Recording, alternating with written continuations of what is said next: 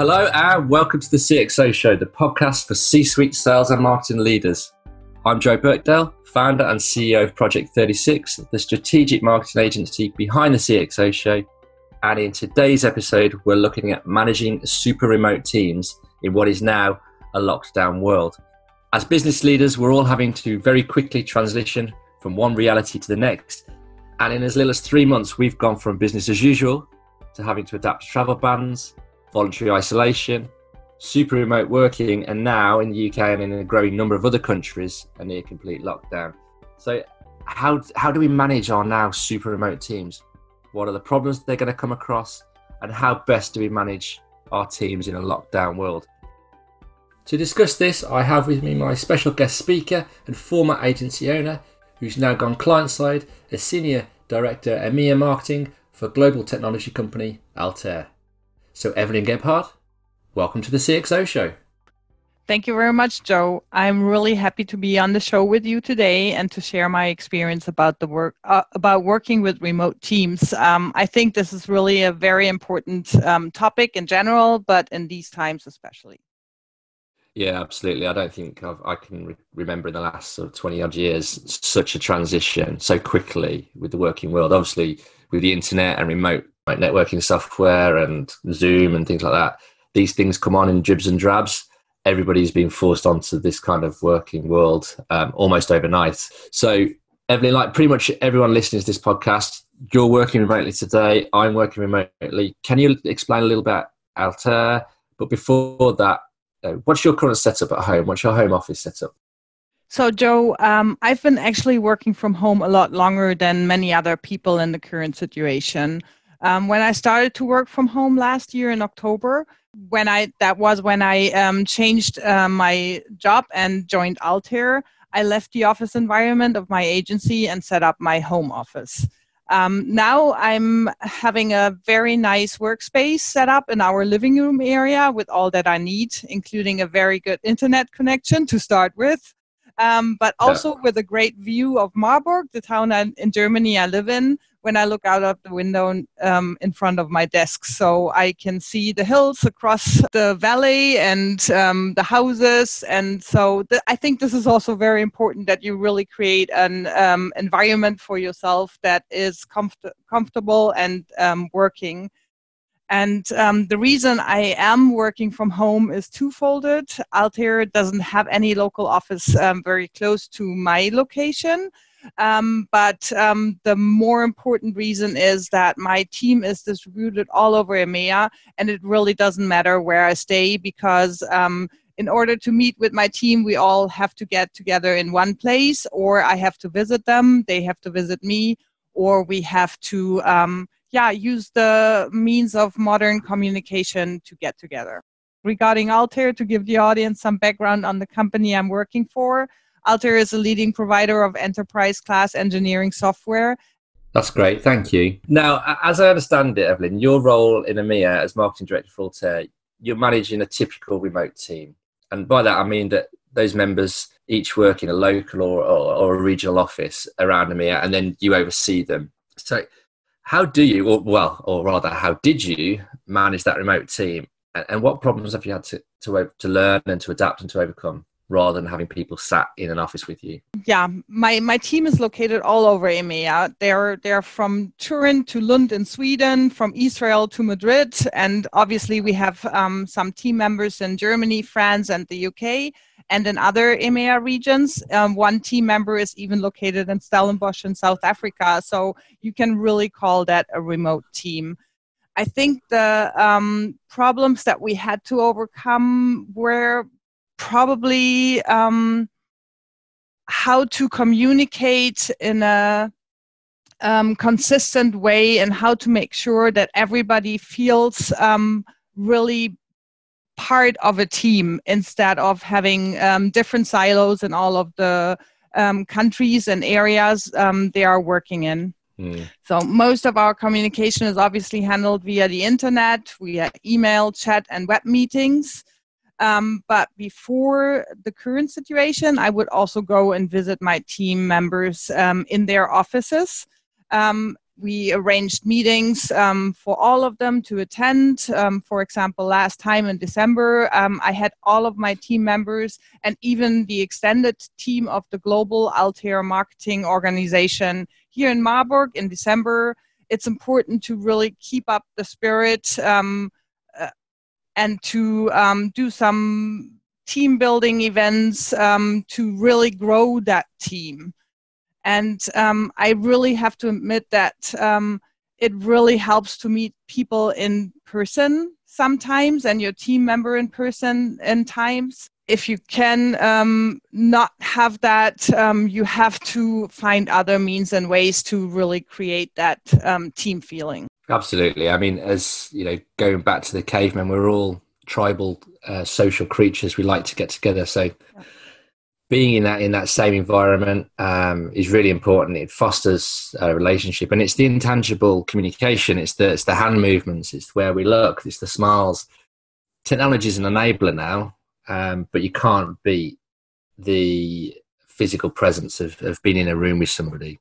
Yeah. So totally understand the need to set up those uh, physical physical meetups as and when you can. For those that have sort of managed remote teams before, um, managing supporting that workforce has always had its challenge. We've got the global economy, we've got global teams, time zones, of course, cultures, um, even languages to grapple with, most things. But now sales and marketing leaders are having to wrestle with super remote working. And this is your teams are not in a single location, they're at home. They're having to juggle, first of all, their worries, their, their home worries and their health worries about this new uh, this virus, but also the workloads. They've got to get on top of technology. They may not have had to ever set up uh, their home before to to have stable um, streaming of their broadband, and of course they've got their families in the background running around. Sadly, for all too many, there's going to be the health. Some of the members of the family, either direct or indirect, uh, are likely to, to come down with this virus. So, how are you finding this, Evelyn? You know, this shift to super remote. So rather than having one call with a team of people in one room, you've now got ten calls. And how are your teams responding? Yeah, well, it is um, a little bit of a challenge um, to work with that new kind of situation.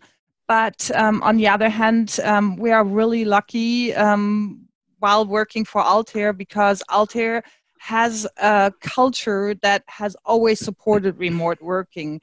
And um, it was a little bit easier probably even for the team members to adapt to the new situation and um, get used to more facetime and um, internet chats than um, meeting with um, their team members and with um, the other team members of the emea marketing team remotely. Um, it is difficult for some of them. They have to judge, uh, juggle their times um, a little bit better. Obviously, as you said, mm. there are families um, also working from home now, um, partners working from home. There might only be one office space for everybody. Um, you have to um, homeschool kids. Um, and you have really have to juggle that, but Altair has been very supportive in creating an environment that enables people to do that. Um, in addition to um, obviously making sure that everybody has the remote um, access to all of the um, company systems, it has also been um, very good um, in giving the employees um, more flexible times. So sometimes maybe they start working very early in the morning um, before the kids are up or before the other before the partner is already um, starting to work and needing the workspace as well um, or they're working a little bit later than they usually would. So um, that has been a big help. Yeah and i think you touched on a really important point there um, culture so technology yes it's an enabler and as long as you're not banging holes in pieces of metal and need to be in a physical factory for the vast majority of us that work in a service organization, whether it be software, whether it be advice and guidance and consultancy, um, design and things like that, they can be physically done remotely. So that shift isn't so, isn't so much the issue. It's uh, we find it's the culture. If you if you hire for a culture of remote working, then there's an understanding, there's a trust level, there's that way of life, there's that mentality and understanding of how to go about it. For others, it's very very difficult if you're transitioning to be a remote worker. You may have had 10, 20, 30 years, even more sometimes, of a morning routine of get up, breakfast, get dressed, suited, booted, the morning commute, arrive at the office, socialize. To take that away, that can be very difficult for people. You say that your team's obviously been enabled because the technology provider and a culture there. But how has your role had to evolve since that outbreak? And then you're now experiencing different issues with your super remote team as you did with your previous remote team. I think I'm I'm putting more time into personal contacts with all of my team members, both as a group and individually. And um, since we're meeting less um, or not anymore in person for the time being, um, it is really important um, to set apart some times and to also create the social atmosphere of a team. So what um, several teams at Altair have started um, to do is to create um, virtual coffee breaks. So we would have some FaceTime, um, even not discussing uh, business topics, but discussing personal things, just chatting, having a coffee together, and really taking a break away from the um, from from the routine to at least virtually create this feeling of um, you're not alone um, you're a part of a team. Yeah and, that's it. Remote working uh, is known to have um, negative uh, mental health effects because people as i said before we're social, social creatures. So remote working can actually feel very uh, isolating. Definitely, and we are um, really working on establishing channels um, to make sure nobody feels like they're left alone at home. As I mentioned, um, we are having this um, virtual coffee breaks within the teams. Also, our um, executive management um, has reached out regularly, providing information and providing the environment to really interact um, virtually. For example, we are using Teams a lot, mm-hmm. and within those teams, we have created channels where people can post what they're currently doing post videos photos photos of their work environment so we can picture each other sitting at our desks and know yeah. a little bit more about the situation everybody is in what I saw on the old uh, LinkedIn feed today, um, somebody was talking about their morning commute from coffee machine to desk was about 10 steps. And yeah. it's a nice human touch. Um, and it's those small details that it's where, you know, it, it, it's, it's being human, it's being open. And if you show openness and vulnerability and we're all in this together right and that's what makes this super remote working a little bit easier this is a global issue so it's not like the uk's on lockdown and everybody else is getting on with things as normal and therefore the rest of the world's kind of unsure aware what's going on and a little bit dubious this is global so everybody's in the same boat so by saying yeah not ideal but i'm going to take 10 steps from the coffee machine to the kitchen table where i'm working and right next to me is my kid doing his homework and opposite me is my wife doing her work and in the background is the dog and the delivery driver ringing the bell. That happens. I watched a fantastic webinar yesterday about presentation skills, about how important it is if you're doing virtual calls to have your cameras on. So uh, he was saying that's an obvious one, you know, you physically see each other. But what he said a lot of people don't do, they don't look at the camera, they're looking at themselves on screen. So look at the camera, look straight down the lens because it's that human touch, it's that virtual being in in present, looking at each other, picking up on body language, um, that makes it that much more human. So those little touches, as you said, they're they're great. And there's obviously there's a whole separate podcast we could do on the technology that's out there to help. You know, you got Slack, Microsoft Teams, uh, Zoom, all these ways of uh, communicating and, and keeping groups together. And and I've noticed that with my team.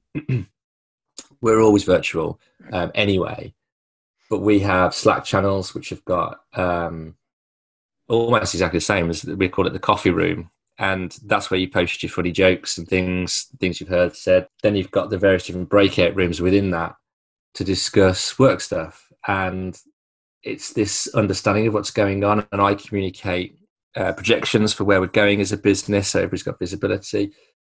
And, and that's one of the things I would say is keeping your team fully informed mastering the technology is, is one as a manager is really important so that you can help but giving them tidbits of information. This is a massive period of insecurity. If you know that uh, payroll is going to be late, for example, that's something that you need to communicate through.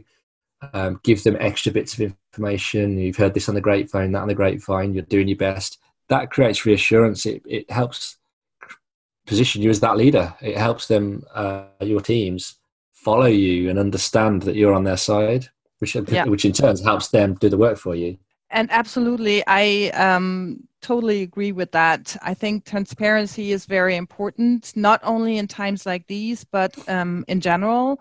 And um, what you mentioned about the FaceTime or actually using your video, I have noticed that a lot more people are using video now if the bandwidth allows for that, obviously. But um, um, while previously our meetings were more um, just audio uh, meetings. Um, now more and more people um, join the meeting with their web camera cams on and um, really giving the opportunity to look into the space and area um, your colleague is working in and um, has to deal with. Yeah, exactly. And it's that understanding. If they, we've all had the uh, the working from home either call or meeting where all of a sudden there's a the dog barking or the doorbell going. Three, four months ago, that was that was like, oh no, it's horrific. Sorry, I'm really sorry. The dog barked.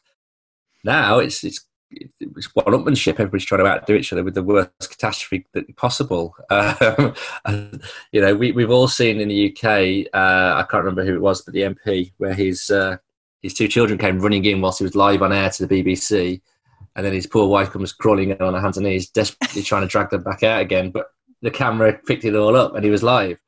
These things happen. It's great, and they make us more human and more approachable too. Exactly, exactly. The barriers come down, and, and that's exactly it. It's the barriers that we've got with technology. You can actually get around a large proportion of that uh, by being open and being human. And yeah.